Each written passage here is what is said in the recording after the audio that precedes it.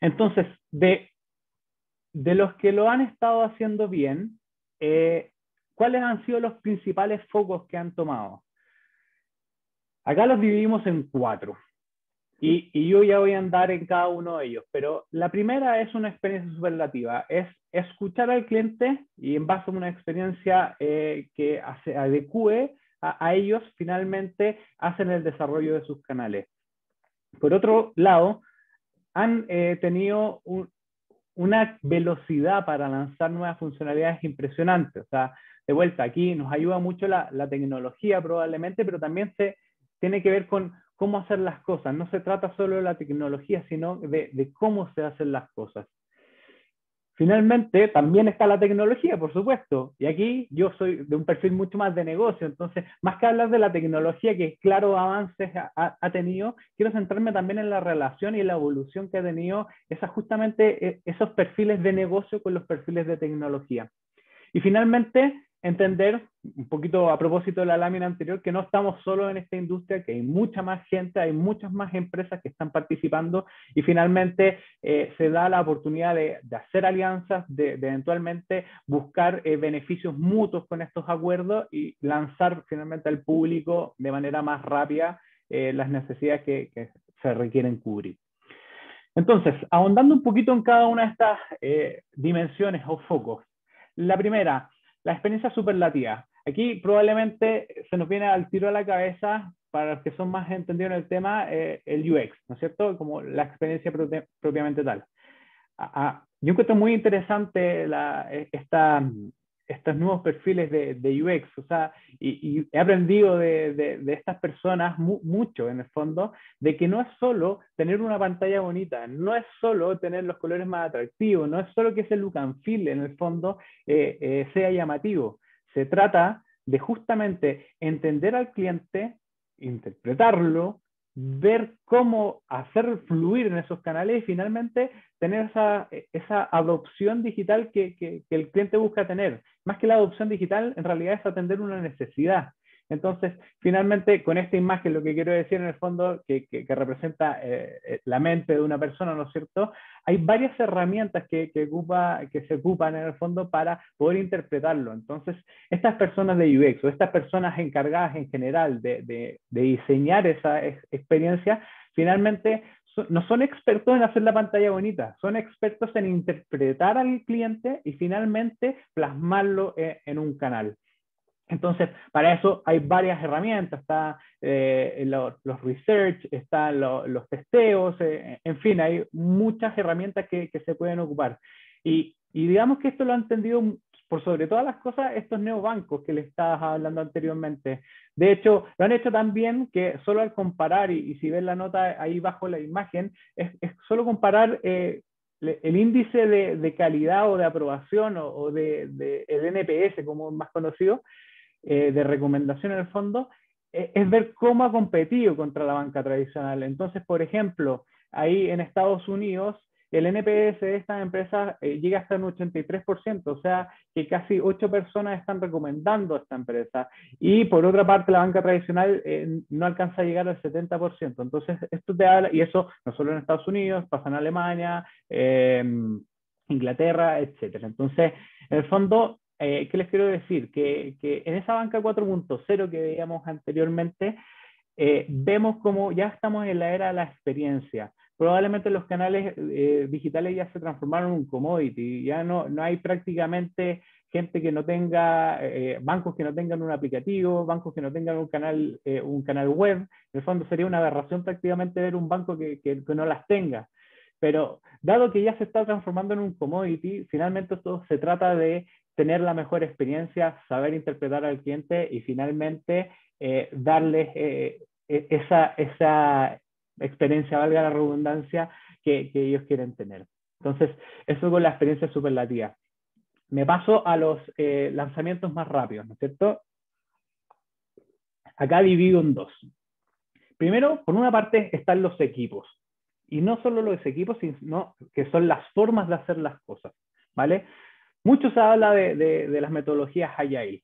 Muchas veces yo incluso me he cuestionado si esto responde más a una moda o realmente es una forma de, de hacer mejor las cosas. Bueno, la, la, conclusión que yo he tenido en base a la experiencia es que mucha de la metodología ayuda efectivamente a hacer las cosas de manera distinta, a acelerar finalmente la toma de decisiones, a empoderar los equipos para que todos esos lanzamientos finalmente se transformen en más rápidos. Entonces, ¿qué, qué es lo que rescatamos de, de, de, esa dimensión finalmente? Los focos se establecen mucho más claros. O sea, acá, sobre todo cuando pensamos en una agilidad escalada, vemos a, a los líderes de la empresa definiendo focos estratégicos, vemos eh, focos que, que digamos, eh, puedes lograr en dos, tres años, ¿no es cierto? Luego, esa estrategia uno la baja en términos de objetivos, ¿no es cierto? Esos objetivos probablemente son, son consecutivos en, en, alrededor de dos a cuatro trimestres, ¿ya? O sea, así es como va, va bajando finalmente. Y, y, hasta ahí vamos con los líderes de la empresa, ¿no es cierto? Luego, esos objetivos tú necesitas medirlos y eso es clave. Eh, ya les decía que en el fondo hoy día la data es clave para el diseño de todas tus experiencias y la toma de decisiones finalmente. Entonces, finalmente tienes ese objetivo y tú lo mides con algún indicador. Y con esos indicadores finalmente tú piensas en iniciativas. Y en esas iniciativas es finalmente donde uno empodera, empezamos a empoderar a los equipos y finalmente se empieza a desarrollar. Eh, digamos que lo que se busca es que el equipo sea autónomo, tenga el foco claro de los líderes de la empresa, pero que pueda ser autónomo en la toma de decisiones y que pueda eh, trabajar de manera mucho más rápida. Obviamente con un foco mucho más claro. Lo, lo importante que acá, que las empresas que de vuelta lo han estado haciendo bien, definen esos focos claros, definen ese foco estratégico y finalmente esa bajada deriva en el desarrollo de nuevas iniciativas. Y esto trae, obviamente, con formación de equipos, eh, la metodología propiamente tal, formación de tribus o comunidades digitales y también esa toma de decisiones tan añorada que, que sea basada en, en datos, ¿no es cierto? Por otra parte, están estos lanzamientos más continuos, que probablemente es lo que más alusiona al, al tópico en general. Lo primero importante a, a recalcar acá es la cultura del MVP aquí uh, yo he tenido la oportunidad de, de trabajar con, con, varias gente y, y me recuerdo particularmente la, la historia de, un proveedor. Eh, el MVP primero, ¿qué es el MVP? Es eh, un producto mínimo viable, es un producto que puedes poner en la, en la mano de los clientes en el fondo eh, y que finalmente puede experimentar. Nosotros estamos acostumbrados la banca tradicional o las empresas en general han estado muy acostumbrados a pensar en, en una solución y ponerla en la calle. Por ejemplo, queremos, queremos resolver el, el, desafío de movilizar a la gente, que la gente se pueda mover. Muchas veces tenemos al tiro la, la, necesidad de, de, pensar en la solución final. Por ejemplo, pensamos en, perfecto, voy a poner un auto, voy a poner un auto en la calle para este cliente y finalmente se pueda movilizar. Pero en realidad quizás si es que no escuchamos bien al cliente, él en realidad se necesitaba mover una cuadra y quizás lo que necesitaba no era un auto, era una patineta. Y antes nos pasaba que finalmente nos dábamos cuenta que necesitábamos una patineta cuando ya le entregamos el auto, cuando ya desarrollamos el auto, cuando ya lo eh, pusimos a, al frente de él. Entonces, obviamente acá hay una frase que dice, equivócate rápido y a bajo costo. Y volviendo un poquito a la historia de, de, de este proveedor, ya entendiendo que es un MVP finalmente, eh, este proveedor me dijo una vez que, que, es la mejor forma probablemente de entender que es un MVP o no, porque generalmente siempre va a estar el trade-off entre, sobre todo los equipos de negocio, y, y ahí me, me, involucro de tentarnos en tener un producto un poco más resuelto. Pero este proveedor me dijo, mira, si, uno, si un MVP no te da vergüenza, no es un MVP. Y me quedó tan grabado que, que, es efectivo. O sea, finalmente e, ese MVP son productos que, que, quizás no son terminados. Y MVP finalmente no es un producto terminado. Eh, eh, se trata de cómo ese producto que, que es mínimo, que, quizás no está dando vergüenza, en el ejemplo que estaba diciendo antes, quizás pusimos no una patineta, quizás pusimos una rueda recién, eh, bueno, aprendimos de eso, no nos costó mucho hacer esa rueda y eventualmente entendimos que finalmente no teníamos que ir a hacer un auto, teníamos que ir a hacer una patineta. Entonces, eso es un poco esa cultura de, del MVP. De vuelta, en ese, en ese siguiente bullet, eh, centrado en el cliente, entendiendo las necesidades del cliente, escuchando al cliente. Y finalmente, sin temor a equivocarse. Aquí hay mucho, generalmente en las empresas grandes pasa, hay mucho de esa cultura quizás más del terror de, chuta, si, si, si, te equivocaste, eventualmente te, te, pueden llegar a echar, etc. Yo, yo creo que acá eh, se está dando un vuelco efectivamente y eh, digamos estas empresas, sobre todo estas empresas que están haciendo bien, no están teniendo miedo a equivocarse. Y se pueden equivocar. Y, y probablemente acá en el banco no hemos equivocado, pero, pero finalmente como le decía anteriormente, y volviendo a esa cultura de MVP, equivócate rápido y equivócate, barato, cosa que en tu siguiente lanzamiento ya le empieces a, atinar a lo que quiere finalmente este cliente. Bien, pasando a la siguiente eh, dimensión, el apalancamiento de la tecnología. Como les dije, yo no les voy a venir a dar cátedra de tecnología, yo soy una persona mucho más cercana al negocio, pero sí les quiero hablar de cómo ha evolucionado esa relación entre los equipos de tecnología y los equipos de negocio. También, así como la banca ha evolucionado eh, en eras, probablemente esta relación también ha evolucionado y, y probablemente siga evolucionando aquí mis amigos de tecnología probablemente siempre se revuelcan cuando tienen que, hablar conmigo. Entonces, hay, hay ciertas fricciones, cierta eh, tendencia a, estar con una relación más tensionada eh, en, eso, en esos dos tipos de perfiles, pero yo creo que hay una evolución y eh, que ha evolucionado, creo yo, de, de manera sana y hay que evolucionar la serie. Partimos de una primera, quizás más era, donde el equipo de tecnología era un, era un soporte, era como, como puse ahí, una tomadora de pedidos. O sea, se sentaba a escuchar al, al, negocio, anotaba, entendían, perfecto, ya quieres esto, esto, esto, listo, perfecto. Vale, vuelvo en seis meses y te entrego tu, tu auto, ocupando el, ejemplo anterior. Y en seis meses nos dimos cuenta que chuta, e, el, auto yo lo quería eh, verde y tú me lo dijiste azul ah, chuta, pero es que no me habías dado la, la, especificación clara y, y, resulta que yo quería un, un, un auto, no una camioneta. Y, y, bueno, pasaba eso mismo, como, así como evolucionaba la forma de trabajo, e, esa relación que teníamos con TI antes era mucho más de tomadora de pedido, era cada uno su rol por separado, eh, nos vemos cada, cada ciertos puntos para ir controlando y, y, ya está. Pero esa fue como la primera, la primer tipo de relación. Pero esto ha ido evolucionando. En una primera generación de este partnership pasas a tener una relación ya más de soporte. No es una sola tomadora de pedidos, sino es cómo te ayudo a desarrollar esas ideas de negocio, cómo te ayudo a contribuir en el fondo a, esa consecución de ese negocio. Entonces, esa es como la primera cuando ya empezamos a, a mezclar eh, esa relación. Luego pasamos a una segunda generación. En esta segunda generación ya vemos a un equipo eh, de tecnología también más empoderado, entendiendo más el negocio, finalmente influenciando la toma de decisiones, digamos, ocupando, eh, eh, teniendo una conversación muy, muy sana de, de, poder challengear el negocio, de entender por qué lo quieres hacer así. O sea, perfecto, yo estoy entendiendo el negocio, pero quizás, sobre todo de vuelta, tenemos la, la tendencia, la, la, gente más de negocio, a proponer al tiro la solución. Yo creo que también, como me lo decía un amigo de, de, UX, me decía, yo no quiero entender qué es lo que quieres solucionar propiamente, tal, cuál es la solución que tú estás visualizando. Quiero entender la problemática que quieres solucionar. Y con eso, yo desde mi perspectiva, en este caso él era de, de UX, pero en este caso también aplica para TI, eh, de mi perspectiva de tecnología, ¿cómo te ayuda a resolverlo? De eso se trata esa segunda ya generación de partnership. Y finalmente estamos en, eh, probablemente viviendo en una tercera generación de ese partnership, donde el TI y negocio son uno solo.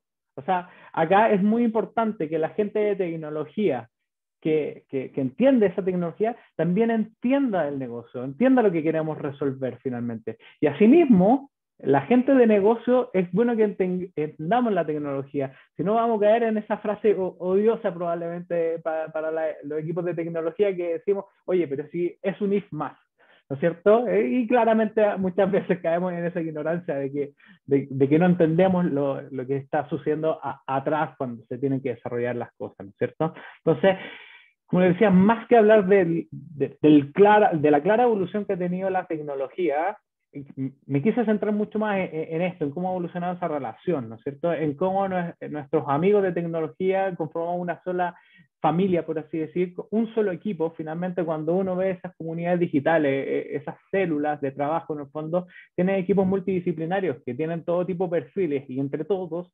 aportan a, una, a resolver una problemática. Cada uno es de su perspectiva, algunos aportarán más desde el negocio, otros aportarán más desde la experiencia y otros aportarán más de la tecnología.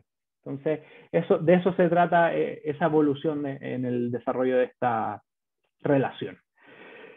Finalmente, eh, Open Banking, quizás los que son un poquito más exhaustivos con el lenguaje me dirán, oye, este no es Open Banking, Open Banking se trata de otra cosa. Bueno, yo les explico, lo que queremos decir aquí con Open Banking es que no estamos solos. Ya les mostré que en definitiva están los neobancos, pero también están otras empresas de tecnología. Pero asimismo hay toda una comunidad fintech. Aquí les traje una, una foto de, de Finnovista, en el fondo, que, que, muestra un poco la evolución de, de, estas empresas fintech, ¿no es cierto?, que han crecido eh, a un 38% anual. O sea, hoy día hay casi 200 startups eh, a, a, ahora, este año 2021. Hay muchas empresas que probablemente lo van a, se, especializaron en un tópico, como pueden ver acá, y finalmente lo han desarrollado mucho mejor. Entonces, muchas veces eh, no se trata de que uno quiera resolver todo, tendemos también a querer resolverlo todo eh, por nuestros propios medios, por así decir, pero finalmente también afuera hay gente que lo puede hacer mejor y que no necesariamente te va a eh, generar o sacar una tajada del negocio, sino que eventualmente estamos buscando eh, roles distintos, ¿no es cierto? Por ejemplo, no sé si ustedes saben, pero JP Morgan, eh, un banco súper grande ahí en Estados Unidos, se asoció con, con, Amazon para emitir tarjetas que, que, pudieran permitir también hacer cashback a, a los miembros de Amazon Prime. ¿Qué, ¿Qué, está ganando JP Morgan en este caso? Está ganando alrededor de 100 millones de usuarios alrededor del mundo de Amazon. 100 millones de usuarios, o sea, quien quisiera ya acceder a esa base de usuarios, ¿no es cierto? Y por otra parte, Amazon también empieza a complementar esa, esa oferta que en, en, una sola eh, ecosistema puede resolver todas las necesidades también de, de ese cliente. Entonces, acá, de vuelta, no estamos solos en, en, esta industria, hay mucha gente que, y empresas que lo están haciendo muy bien y eventualmente eh, asociarse con, con, alguno de ellos es muchas veces clave de acelerar tu, tu puesta de soluciones en la calle y también de lograr los objetivos más rápidamente. O sea, sin ir más allá, ahí Banco Itaú está trabajando en esta alianza con Rappi en el fondo, buscando esa, eh, esa alianza, ¿no es cierto? Buscando lo mejor de los dos mundos. Rappi accede a una base de, tanto de clientes como de, de, de, tiendas, ¿no es cierto? Que el banco también puede atender de alguna manera y Rappi, por otra eh, parte, también fortalece su, su ecosistema. Entonces, de eso se trata también esto. Bien. Bien, como para redondear finalmente esta visión de la industria y, y finalmente tratar de, de responder eh, nuestra visión al menos de cuáles son los principales desafíos que, que, que tiene esta banca tradicional, eh, los resumimos en tres puntos. Lo primero, que los bancos tenemos que empezar a entender que los clientes están primero. ¿verdad?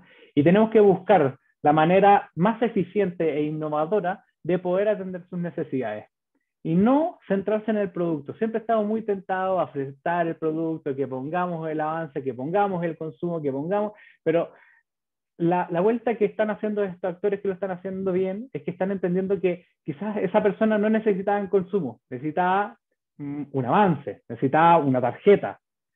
Quizás esta otra persona sí necesitaba el consumo, pero se trata de eso, de, de, de, entregarle al cliente lo que está necesitando y no lo que el banco quiere ponerle al cliente, ¿no es cierto?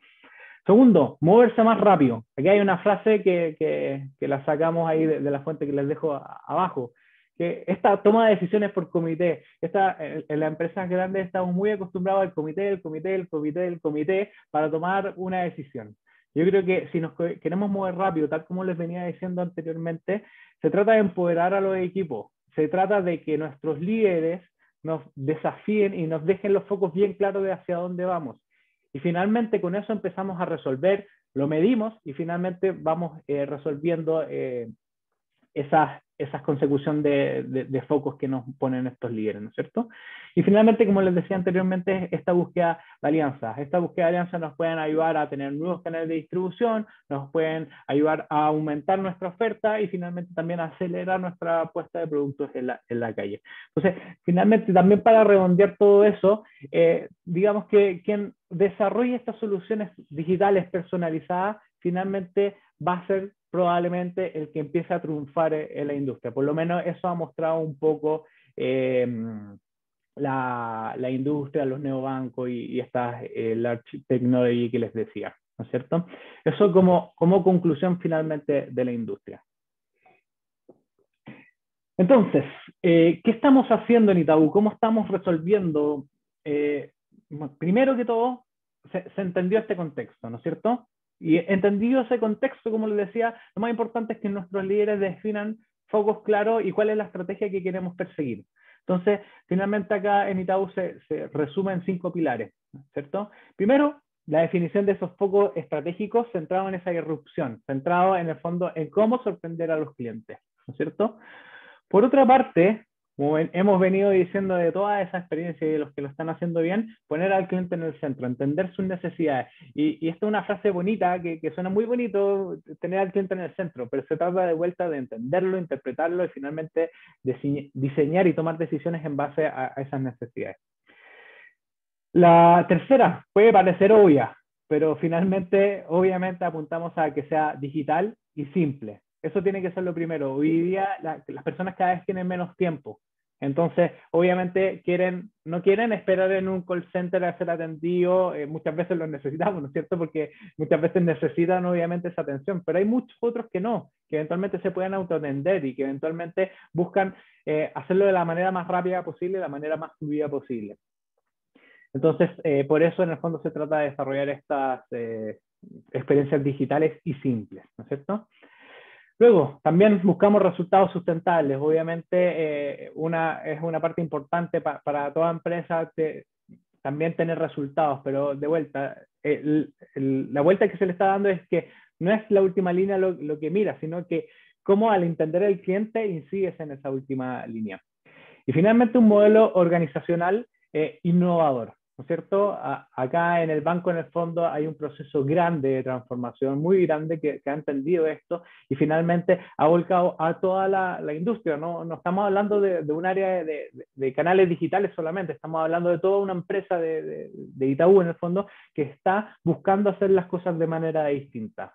Está buscando esa colaboración, está buscando tener esa eh, estructura más plana, que, que que las personas puedan acercarse a los líderes, a tener esas conversaciones, a interpretar en el fondo y a aportar finalmente en esta consecución de, de, de objetivos. Específicamente entonces en los canales digitales, finalmente hemos centrado eh, la, la medición, como les decía, en tres focos, tres focos principales. El primero, ya se los decía, o sea, probablemente uno de los principales indicadores para entender qué tan satisfechos están nuestros clientes es el NPS, ¿vale? El NPS es un indicador que, que dice cuán a gusto está un cliente y cómo lo hace en base a una pregunta simple que es eh, del, en una escala del 1 al 10, ¿cuánto recomendarías, por ejemplo, en este caso el banco, el canal, etcétera? Entonces, ese eh, finalmente es nuestro principal indicador de, de, calidad para entender si los clientes están satisfechos. Y obviamente ahí hay niveles que podemos ir interpretando de cuáles son las necesidades que quizás no estamos cubriendo para esos detractores y cómo fortalecer probablemente también esas experiencias que no, la, de las personas que nos están promoviendo. Por otra parte, la adopción digital. O sea, como les decía a, a, al principio de, de, de esta charla, eh, yo me compadezco de las personas que tenían que ir eh, a diario al banco para atender sus necesidades. Hoy día lo que estamos buscando es herramientas para que ellos se puedan autoentender, ¿no es cierto? Y cómo eh, medimos esa adopción digital, finalmente la medimos en la cantidad de usuarios que están ocupando nuestros canales y cómo están transaccionando en ellas. Y finalmente también en, empezar a detectar cuáles son esas funcionalidades que eventualmente están echando de menos, que requieren tener en estos aplicativos para poder autoatenderse. Y como un último indicador está la venta, pero de vuelta, con un foco no solo en, en, vender, en poner el producto, sino en cómo atender las necesidades eh, en cómo participa en el fondo esa venta eh, dentro de las sucursales para migrar también a esos clientes a, a, los canales digitales y también cómo fortalecer el margen, obviamente, ¿no es cierto?, para mantener un resultado sano dentro del banco. Entonces, en base a esos tres eh, indicadores, finalmente, ¿cómo eh, hemos estado, en base a qué principios hemos estado trabajando para facilitarnos nuestra toma de decisiones? Bueno, acá les traje cinco de esos principios y obviamente cada uno tiene harto doble clic, pero fue una forma de resumirlo. En primer lugar, nos hemos centrado en la experiencia cómo nos hacemos cargo, como les decía, de todo lo que vengo hablando eh, en las láminas anteriores, de, de, esos dolores de los clientes, de esas necesidades y cómo creamos esas experiencias superlativas. ¿ya? Por ahí hay una frase de, de, de cómo son, se obsesionaba por esa experiencia justamente. Entonces, probablemente aquí se, se trate de eso, de quizás la obsesión se, se, siempre se traduce en un contexto quizás más negativo, pero acá se trata de obsesionarse en resolver las necesidades de los clientes y ese es nuestro primer foco. ¿No es cierto? Segundo, ¿cómo atraer a esos nuevos clientes? ¿Cómo digitalizarlos? Porque no se trata de traer a un cliente solo al banco, es cómo digitalizarlo, cómo atender sus necesidades, ojalá de manera remota, como, sobre todo en épocas como, como las actuales, ¿no es cierto? Eh, en, un, eh, en unas épocas de, de COVID es, es, la forma de autoatenderse, la, la, la, forma de evitar que los clientes vayan a las sucursales y se atiendan físicamente, eh, digamos que también tenemos una obsesión acá de cómo lo digitalizamos, cómo transformamos ese canal digital en uno muy importante eh, dentro del banco. Tercero, hemos aprendido y seguimos aprendiendo, ¿ah? porque acá no es que creamos que, que tenemos toda la respuesta y, y, probablemente lo hayamos resuelto todo, ¿ah? al contrario, hemos aprendido a trabajar de manera colaborativa, hemos aprendido a trabajar con células, hemos aprendido a trabajar con equipos multidisciplinarios, hemos aprendido a convivir en una misma sala eh, equipos de tecnología, equipos de negocio, equipos de diseñadores, equipos de marketing, etcétera. Hemos aprendido a trabajar juntos, hemos aprendido a focalizarnos y hemos aprendido eh, entre todos a hacernos cargo de un problema y resolverlos con, estas células un poco más especialistas, ¿no es cierto? Eh, cuarto, así como la experiencia es muy importante y así como en el webinar anterior contaban, es muy importante medir medir y tomar decisiones, porque si no caemos en gusto. Acá no se trata de tener un diseño lindo, como les decía, porque lindo es muy subjetivo. Para algunos lindos puede ser, eh, no sé, cantar, para otros lindos puede ser correr, no tengo idea. Entonces, eh, eh, es muy subjetivo la opinión de la gente. Entonces, finalmente, uno tiene que entender cuál es el segmento de clientes que quiere atender, medirlo, testear, y no me, refiero solo a la data eh, dura de, cuánto estamos vendiendo, cuántos usuarios tenemos, etcétera. Se trata de medir también la experiencia, hacer research, como le decía, como dicen nuestros amigos de, UX, en el fondo, de entender al cliente, interpretar al cliente e ir corrigiendo y tomando decisiones en base a esa data, en base a eso que uno puede eh, recolectar, ¿no es cierto? Y finalmente, eh, queremos estar al tanto de qué es lo que está pasando en la industria, o sea, mucho de, de, del ejercicio de, de, lo que les contaba en este primer capítulo, ¿no es cierto? Se trata de entender el ecosistema, se trata de entender que no, está, que no, somos, no estamos compitiendo contra los bancos solamente, estamos compitiendo contra una nueva era de bancos, estos neobancos, estamos compitiendo también con un Google, con un Facebook, etcétera. O sea, si no entendemos eso, si no nos hacemos cargo de, lo que está pasando, finalmente vamos a quedarnos sin el cliente y quien se queda sin el cliente se queda sin negocio. Entonces, eh, eso eh, obviamente siempre estamos con un ojo dentro del banco, dentro de los focos que estamos teniendo, pero con otro foco en qué está pasando fuera para tomar decisiones también y, y ir eh, ajustándose obviamente a los cambios que tenga la industria.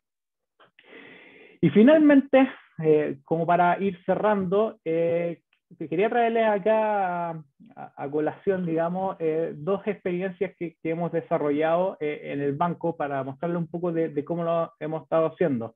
Por una parte, les traje cómo ha evolucionado la, la aplicación. Pasamos de, de, una aplicación, una versión anterior que, que, digamos que tenía una experiencia mucho más anticuada, que, que probablemente no está resolviendo esas necesidades ni cubriendo esa, esa experiencia deseada que queremos tener eh, con los clientes, ¿no es cierto?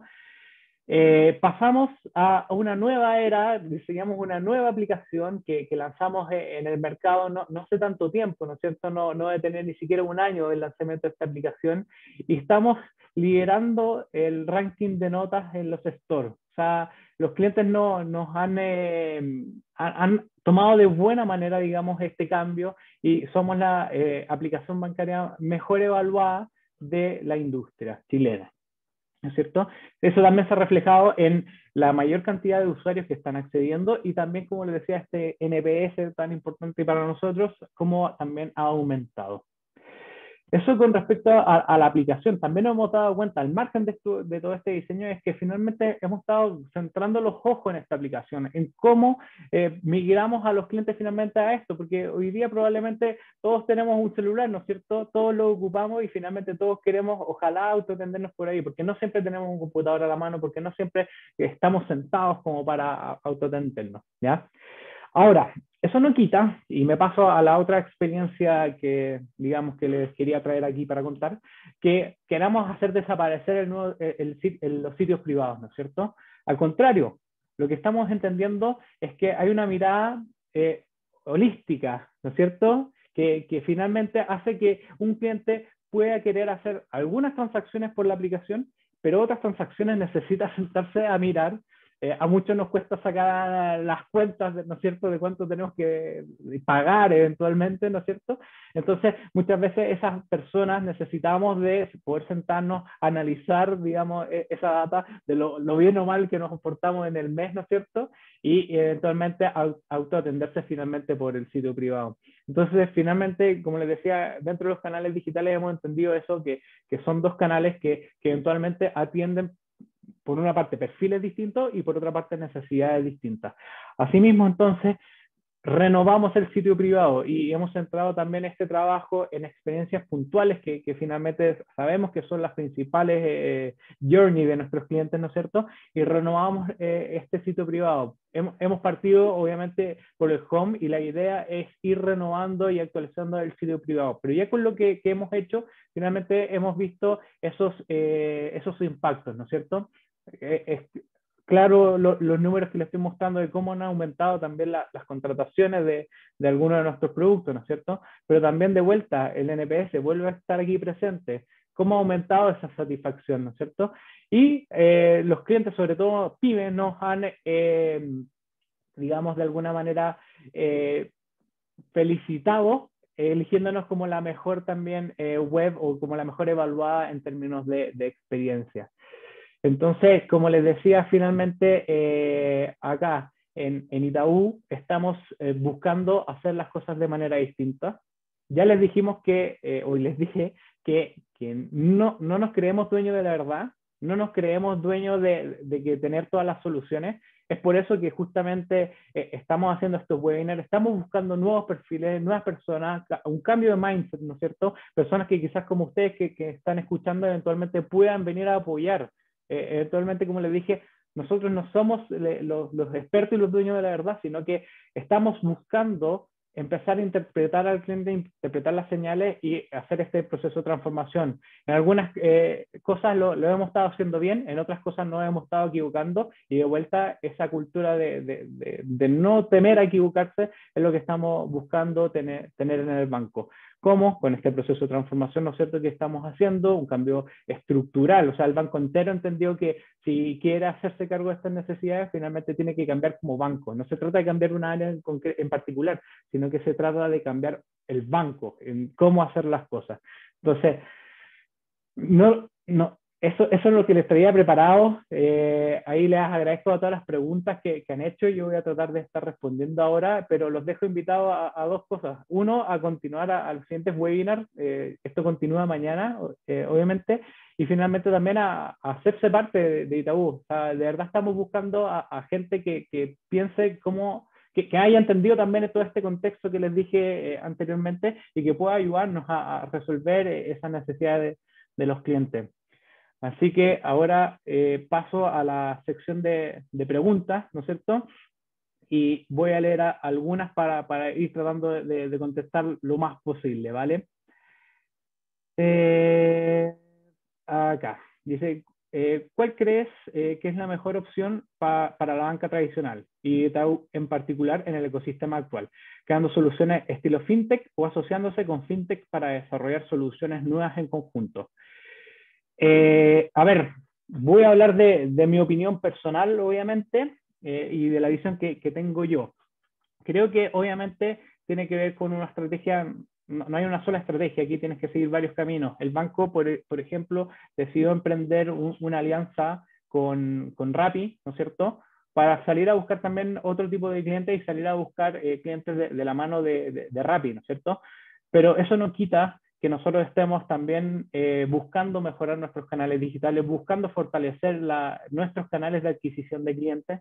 Entonces, yo creo que no hay una respuesta eh, única para esa pregunta, sino que se trata de eh, dos tipos de, de estrategias, ¿no es cierto? Una de, alianzas que, que, obviamente te puedan ayudar a acelerar, donde esa alianza haga sentido, hay que tener mucho cuidado con eso, y eh, otra, obviamente, fortalecer tus propios canales, o sea, tampoco se trata de tener todo externalizado y al contrario, también se trata de mejorar tus canales actuales, ¿no es cierto?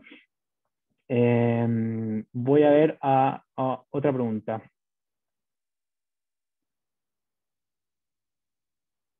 Ah, ah, ah, Dejen ver preguntas. Acá. Eh, Carlos dice, de cara al resto eh, que representa el ecosistema eh, hoy día para la banca comercial, está Itaú avanzando en el desarrollo de soluciones DeFi y de criptomonedas para competir en este nuevo ecosistema.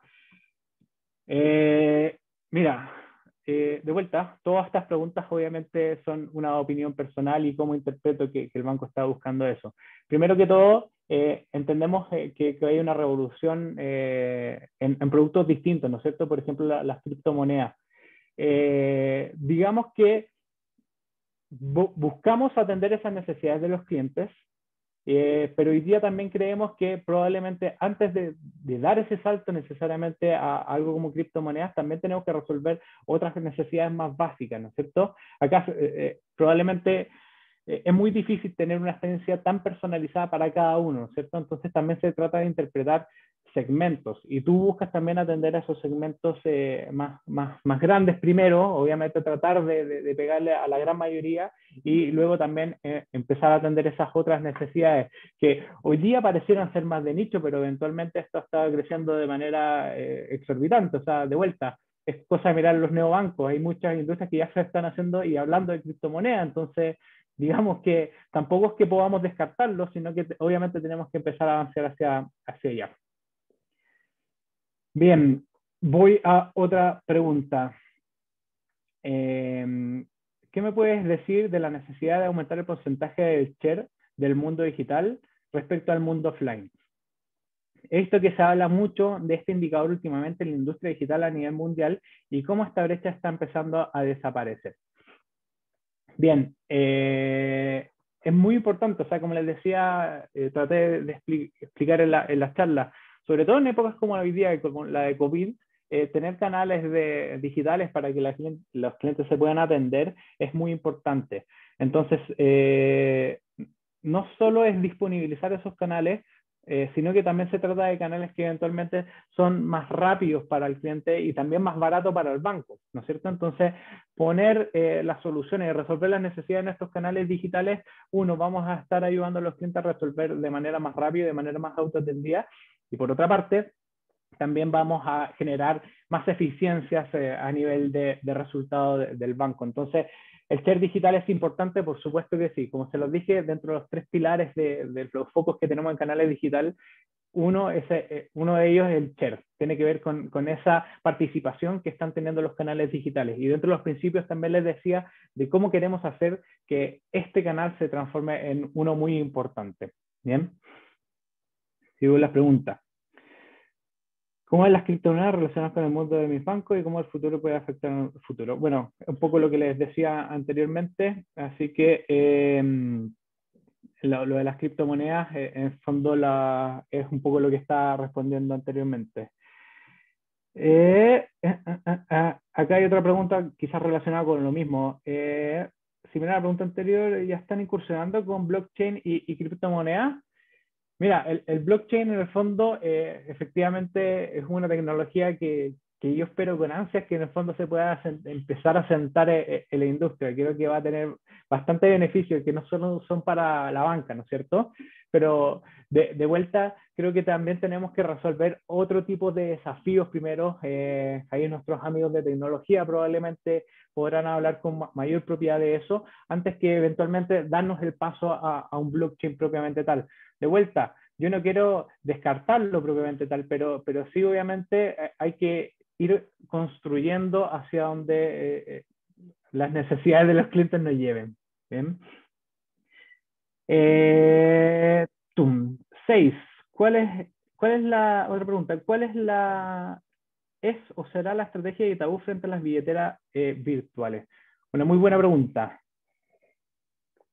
Bien, las billeteras virtuales probablemente caen dentro de de, estos otros potenciales eh, actores de esta industria, ¿no es cierto? Están buscando algo muy parecido a que nosotros. O sea, es cosa ver, por ejemplo, los ejemplos como de Match acá en Chile. Match partió quizás tímidamente con una cuenta de, prepago en el fondo que, empezaba a resolver y facilitar, se hicieron cargo de, de, un journey en particular que era facilitar los pagos entre personas.